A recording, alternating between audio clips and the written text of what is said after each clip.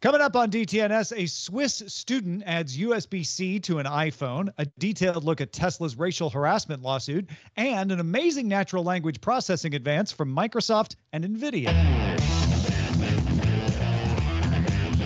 This is the Daily Tech News for Tuesday, October 12th, 2021, in Los Angeles. I'm Tom Merritt.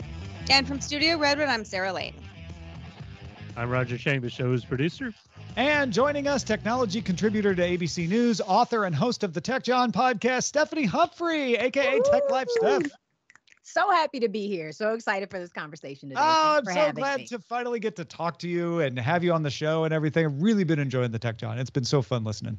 Thank you. And thank you for all of your support. I mean, it's been really, you know, integral to the success of the show so far. And we've been having a lot of fun with it. So let's just keep this thing going. Yeah, yeah, keep it going. Um, and Stephanie is also still here, even though on Good Day Internet we were talking about elephant messes. uh, if you'd like to hear that conversation, become a member at our Patreon, patreon.com slash DTNS. That is where you can join our top patrons like Mike McLaughlin, Miss Music Teacher, and James C. Smith. Let's start with a few tech things you should know. Microsoft said that its Azure cloud service mitigated a 2.4 terabytes per second distributed denial of service attack at the end of August, the largest DDoS attack recorded to date. Senior program manager for Azure Networking, Amir Dahan, said that the attack was from a botnet of approximately 70,000 bots, primarily across the Asia Pacific region, and identified the target only as an Azure customer in Europe. Another Microsoft tidbit the Windows subsystem for Linux is now available as an app you can download from the Microsoft Store in Windows 11. 1Password launched a new feature for securely sharing login credentials called Password Secure Sharing Tool, PSST, aka PST. It is reportedly one of the company's most requested features. PST allows for sharing a generated link that other people can access even without an account. Generated links can be set to expire within an hour or last up to 30 days. Apple sent out invites to a special event to stream live October 18th at 1 p.m. Eastern Time. The tech press anticipates that Apple may announce new M1 MacBooks, a new Mac Mini, even new AirPods. The invited video called the event Unleashed. Unleashed. Magic Leap announced it's readying the release of the Magic Leap 2 AR headset next year for select customers using it in an early access program with general availability to follow. That's right, I said Magic Leap. Magic Leap initially was developing a consumer friendly AR headset, but it has changed the headset's name from Magic Leap 1 to the Magic Leap 1 Creator Edition, and then abandoned the consumer business in 2020, brought in a new CEO, and now it's very enterprise focused and apparently getting enterprise customers. So there you go. In the Apple versus Epic lawsuit that will never end, Judge Yvonne Gonzalez Rogers largely ruled in Apple's favor. The only exception was a permanent injunction that stated Apple could not could no longer prohibit developers from pointing users to outside payment systems, with Apple having until early December to revise its App Store rules. Apple now plans to appeal that decision, not surprising, asking the judge for stay on the injunction through the appeals process. Epic previously announced it was appealing the decision as well, and Google has countersued Epic Games in its dispute, saying that Epic willfully breached its Play Store developer agreement when it added in app purchases to Fortnite. Yeah, so not a surprise. We expected the appeals, and now they're here. All right, let's talk a little more about new products from Tile, Sarah. Let's do this. Tile announced a new line of tracking devices, including new versions of its Bluetooth trackers, the Mate, the Pro, the Slim, and the Sticker, available now. The new models have louder rings, three years of battery life, and increased range of up to 250 feet. But Tile also announced the Tile Ultra coming in early 2022, which uses ultra wideband or UWB in addition to Bluetooth. Apple's AirTag and Samsung's SmartTag Plus products both use UWB as well. But Tile Ultra will work on both Android and iOS. UWB can offer more precise location than Bluetooth, and in fact, Tile will let you use augmented reality to find Tile Ultras. Tile also announced some new services for its trackers. Lost and Found lets you scan a QR code on the back of new Tile models, except the sticker, of course.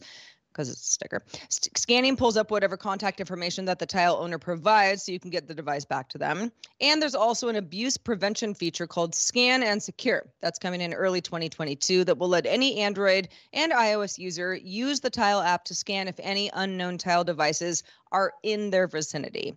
You don't need a Tile account for this, and using the app won't make you part of the Tile Find network, unless, of course, you want to be part of it. Yeah, this is uh, interesting on, the tech side of UWB getting more adoption. Uh, UWB, like you said, is a more precise uh, finder. That's why Apple uses it. That's why Samsung uses it. And the more companies that use it, the wider that adoption and the better those networks will work uh, for everybody. We've got to know a little more about that. But that scan and secure feature is tile leveling up, not catching up. Uh, they're catching up with UWB, but I think that scan and secure is really interesting uh, to say, hey, you, we we won't track you. You don't even have to. We don't. You don't have to give us any information. You can just find out if there are any tile trackers around you, just in case. Stephanie, what do you think of that? That is, um, it's it's interesting though. You know, you made that distinction between catching up and leveling level, leveling up, and I I'd be curious if if Tile had leveled up before AirTags were released, would they still be in the Apple stores? You know, like would Apple have even needed? I mean, not that AirTags haven't been in development for years and maybe this was inevitable, but sure, sure. you know, if this was something that that could have been done, you know, two or three years ago would this have made a difference in in their positioning um, inside the apple store so um, you'll never know. I guess we'll never know. But I think this definitely changes the game uh, because it be, it can be used across platforms. So um, it'll it'll be interesting to see if they bounce back um, from that hit they took when AirTags were released uh, because they are cross-platform. But but definitely that uh, security feature I think is going to be probably the game changer because if you are looking at tile versus AirTags and you need something to sort of dif- differentiate uh, which one you choose to buy that would probably be it. You know it wasn't that long ago where uh, yeah on my on my set of keys i had a ha- had a little tile tracker and it came in handy a few times uh, and i eventually was like eh i don't know i'm not using all that much and so i i i, I took it off my keychain but but it's it's it's that early adopter issue. You know, I kind of liken it to fitness trackers. You know, you, you had you had the fitness trackers of the early years, and now everybody's got a fitness tracker. And so when you're that first company saying, "Well, hold on, we we champion this movement. now we just have to keep up." Here. yeah, like air tags are great, but we're cross-platform, and we were here first, and we've got all this new stuff. So you know, good on you, Tile. Yeah, yeah. Keep keep it up, and that cross-platform. I think you're right, Steph. I think that that is one of the keys uh, to keeping Tile in the game. Apple has added USB C to its iPads, but not its iPhones. The idea of USB C in an iPhone has come to the fore once again recently as Europe considers making USB C ports mandatory on phones and other devices. One defense of Apple not using USB C is that the ports may not be as workable as Lightning in Apple's phone designs. So, Swiss Federal Institute of Technology robotics engineering student Ken Pillonel decided to put that idea to the, to the test. Back in May, Pillonel posted that he had succeeded at getting an iPhone battery to charge from a USB C port that he had created, but the connection was too large to fit inside an iPhone. So it was a proof of concept that it could be done, but again, not fitting within the design. However, he found there's a chip in the lightning end of third party cables, not in the lightning end of the Apple first party, but in the third party cables made by Apple called the C94 chip. Pillonel reverse engineered that C94 part and created his own flexible printed circuit board version of it that he can fit inside an iPhone. He connected that reverse engineered flexible PCB to USB C port on one end and the phone's lightning apparatus on the other. Essentially, he squeezed the adapter cable down into a small bendy circuit board and stuffed it inside an iPhone 10 somehow. An iPhone 10, too, not a Max, a 10, leaving room for the USB C port to replace the Lightning port. And in the pictures, it looks just like an iPhone, except has a USB C port. He now has an iPhone 10 with a working USB C port that transfers data and charges the battery just like the Lightning port does, because it's essentially just going through to the Lightning apparatus. Pillonel plans to post a video showing details of how he reverse engineered that C94 chip uh, into a flexible PCB and how he was able to fit it inside the iPhone 10. I think that's the part I'm I'm most interested in. Obviously, this is just a very interesting hardware hack uh, from a really clever student. But it also, to me, it was like, well, Apple, he showed you you could do it, and he didn't. He didn't remove the battery. He didn't. He didn't remove anything. He's able to fit it in there. Yeah, it's I mean, it- definitely like shots fired, basically, uh, for Apple, because you know I, I don't think they have any choice but to respond. I mean, whether that I don't know that that necessarily means we see you know an iPhone 14 with with a USB C port, but but they have to say something. I think. Um, so it'll be curious what that response is. I'm actually interested in what the um the um oh my god the word just slipped out of my head the, the people that make um fraudulent iPhones. Like uh what is the word I'm looking for, guys? The, the fraudsters is all I could think of. Well, like the the the there's a specific it's it's yeah. yeah, the the the the um Knockoffs. Knockoffs. the knockoffs, Knockoff. yeah. That that wasn't the word, but there's I'll think of it and then I'll sp- I'll spit it out like 10 minutes from now Yeah, of randomly. course. but but yeah, the the knockoff iPhones, you know, are are we going to start seeing this? Because he was very detailed in his first video on on how this could be done. So he kind of walked you through step by step. Um, I have to think that somebody else is going to try this sooner rather than later.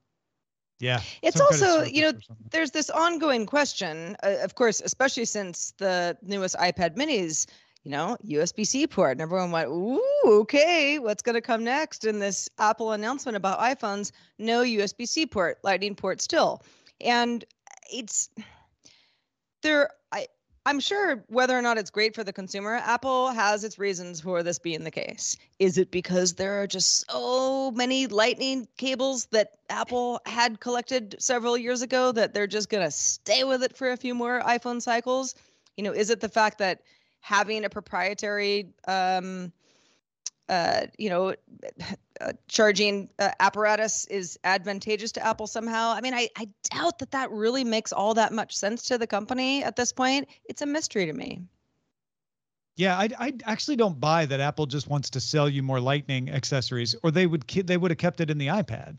Uh, so there there's more to it than just that. Uh, and and I used to think like, oh, it probably in a phone it's smaller, it's it's harder to fit in and keep that battery uh, as big. This shows that it's not just that. Maybe there's something else still there. I'd be curious what it is, uh, what the reason is, but uh, it obviously can fit if you if you're a clever Swiss robotics engineering student. exactly. Can be done.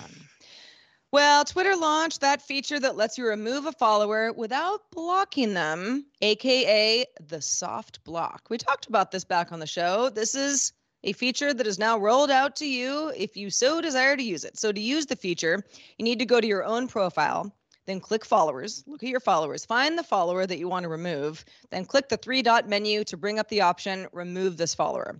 The follower won't be notified that you did this, but will stop seeing your posts in their feed. Maybe they'll just never think about you again. Maybe they will, but this is what it does. Unlike an actual block, they can find your posts on Twitter if they go looking for them while logged in. They can DM you and they can follow you again if they see, oh, wait a second, I thought I was following this person. Let me follow them again. Previously, you could have the same effect by blocking somebody and then unblocking them. That is what a lot of folks on Twitter have done for years. And that's what a lot of folks brought up when Twitter announced this feature like, well, we can still do this, but it wasn't something that was officially a Twitter feature. Now it is. This obviously isn't good for all situations, but do we think that there are situations it is good for?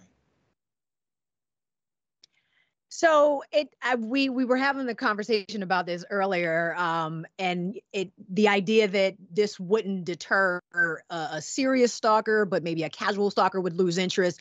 It seems though, now that the more I'm thinking about it as you were reading, it seems though all they would have to do is give users the ability to mute themselves to other people. That's what I said. That's That is I mean, this is exactly what the basically feature what should that be. does without going through this whole i mean there was a whole lot that you just read there like oh you you follow but you don't unfollow but you don't block but you listen just let me mute myself to that user the and self this solves mute. the problem. Yeah, this and then the, user just thinks you just haven't been around lately. Exactly. Exactly. Twitter, Jack, are you listening?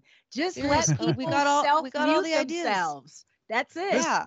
this does seem overly engineered as Yeah. a solution because what the, what I what I immediately thought was, well, if you mute yourself to the other person, then they can't find your posts when they're logged in. But that just leads me to the question of like, but why would you want them to? Bec- with this this new soft block feature lets them find your posts if they're logged in on Twitter out by just going directly to your profile. They just won't show up in their news feed. So is there a reason you would want that? I'm It- trying to fi- it's- think of I, something. I get why, you know, and, and of course this is, you know, sort of known uh, as as the soft block. I get why there would be a situation where you think, "Ah, if I block this person, it's going to become a thing. Right i really want to avoid that conversation or any confrontation that might, you know, result. Uh, you know, And eh, if they can't get to your profile, then they'll know. And okay, yeah, yeah, So so I so I I get why this could be helpful, but I feel like if someone is if someone is trying to cause trouble and eh, you know anybody who's on the internet long enough we we all know who that you know those people are they're going to see this and know what you did because they understand how twitter works and it'll anger them.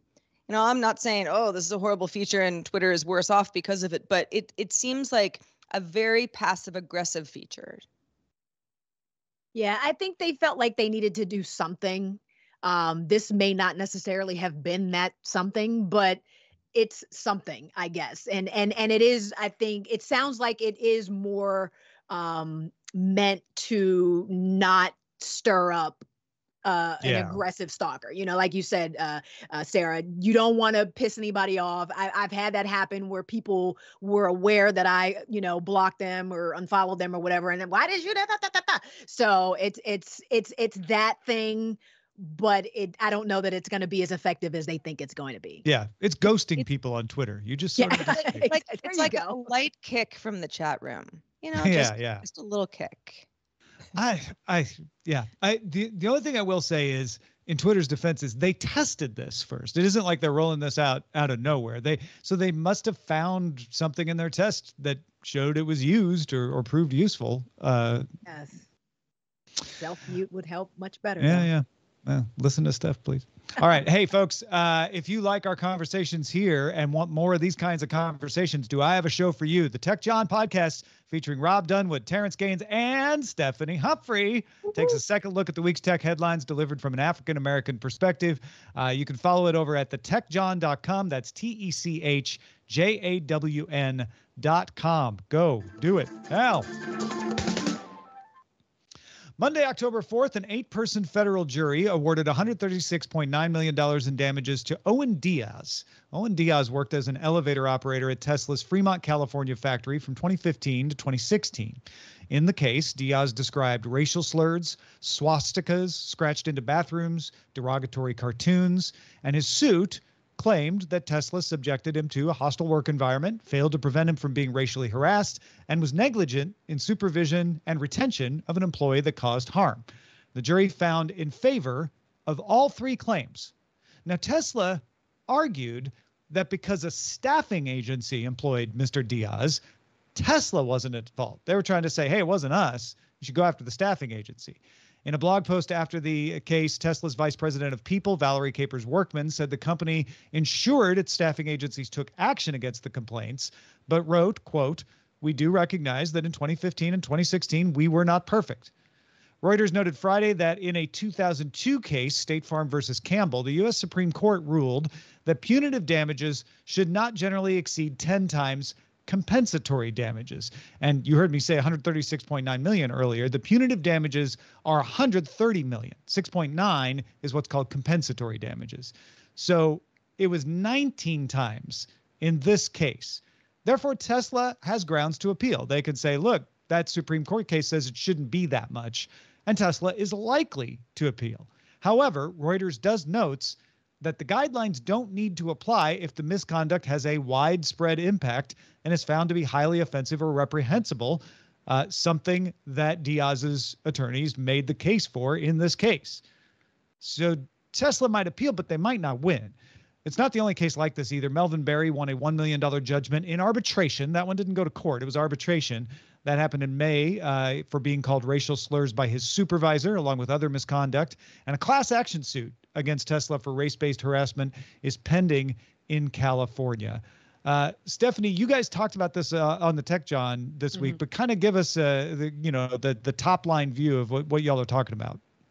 So it it just appears that Tesla's record on this kind of thing is pretty abysmal um, across the board. I, I, I said on the on the uh, podcast that I've not heard one positive story coming out of a Tesla facility around race relations ever. You know, since Tesla facilities existed, and and it's just it it's disheartening that they don't seem to care about the optics necessarily, even just the optics, um, because their response to it has always been, you know, very very dismissive, very you know, placing the blame blame uh, you know he's not an employee. What difference does that make? He's in your facility you know he is for all intents and purposes working for you. You know this is this is the the opportunity to step up and and deal with this and and create an environment where all of your employees feel welcomed and and you're just whiffing it like every single time and and it doesn't even seem like you care.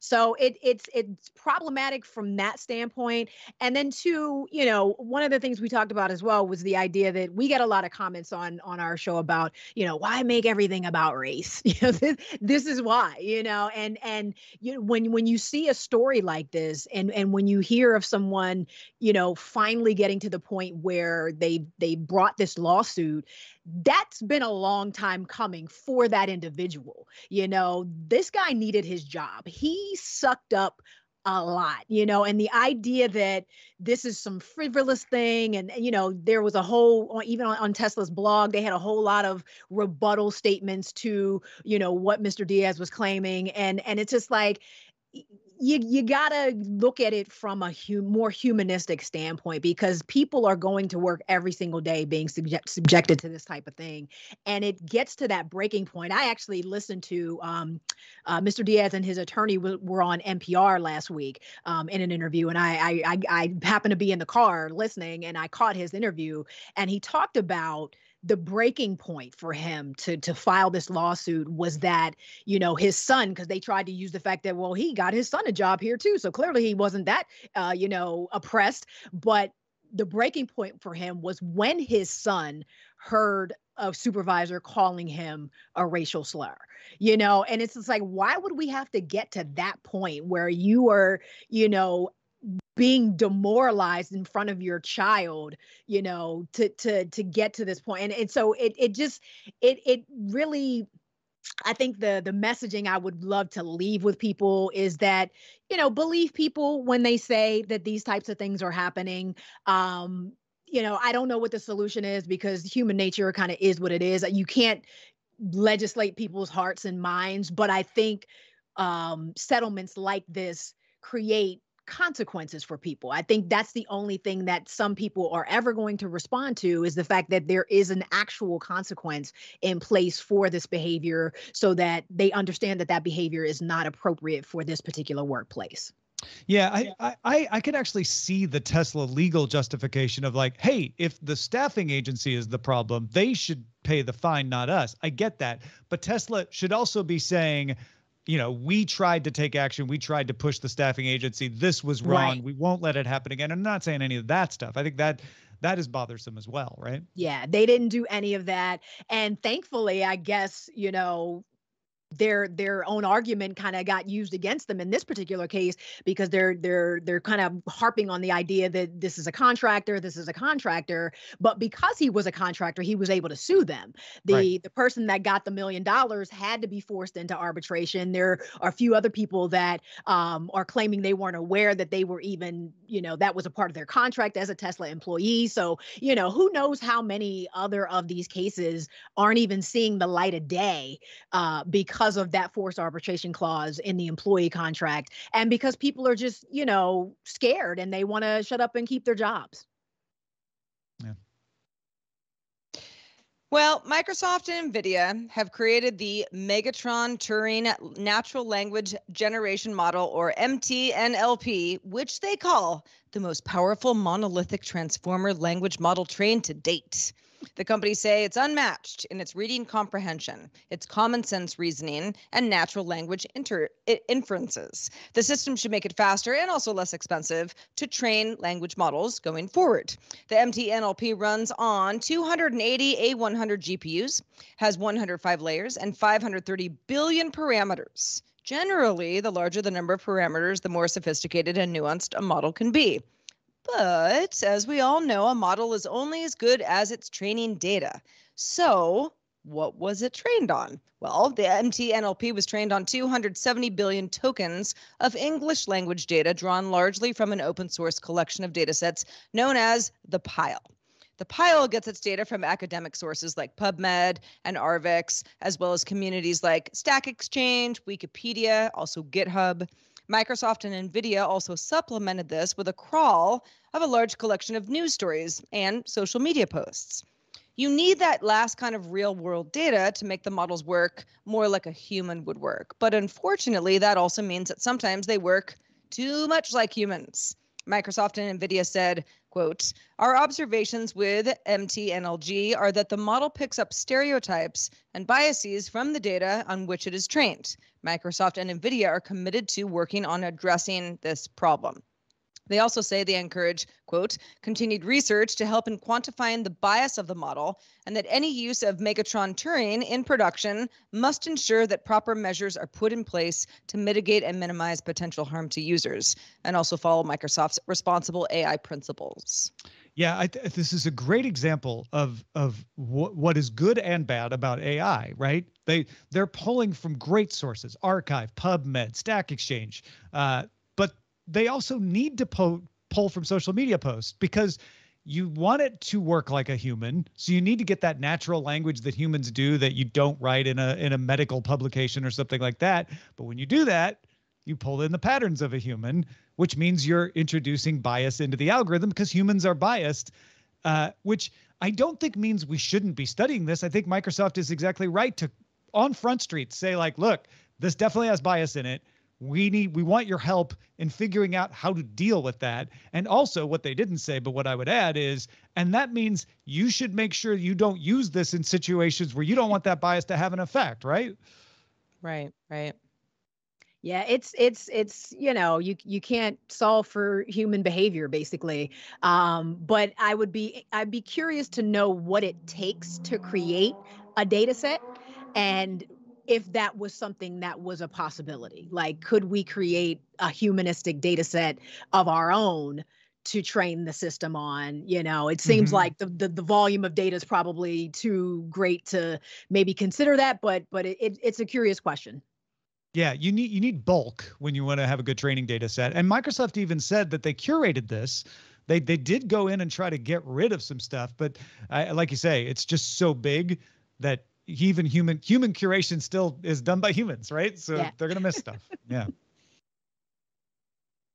Well, if you have feedback on anything that we talk about on the show, anything that you want us to talk about on a future show or have talked about on a past show, do send the feedback our way. Feedback at dailytechnewsshow.com. Thank you in advance. We'd also like to thank a few brand new bosses, and they are Arthur, Kevin Brock, David Grizzly Smith, and John Seppala all just started backing us on Patreon. So thank you, Arthur. Thank you, Kevin. Thank you, David. And thank you, John. Hey, I like that. Brand new bosses. Uh, good, good to have four of you. And I know we had a little long weekend here. Uh, give you time, but uh, the the slate's clear now, folks. If you want to be the brand new boss tomorrow, now's your chance. Patreon.com/slash DTNS. Indeed. Also, thanks, big thanks to Stephanie Humphrey for being with us today of the Tech Jawn podcast. Stephanie, let folks know where they can keep up with your work. You can find me all around the web at Tech Life Steph, and you can check out the uh, work I'm doing in digital citizenship on tilldeathdoyoutweet.com. Excellent. Well, we are live on the show Monday through Friday at 4:30 p.m. Eastern, 2030 UTC. You can find out more at dailytechnewsshow.com slash live. Please join us live if you can. Tom's off tomorrow working on Know a Little More. Rich is here with me along with Scott Johnson. Talk to you then.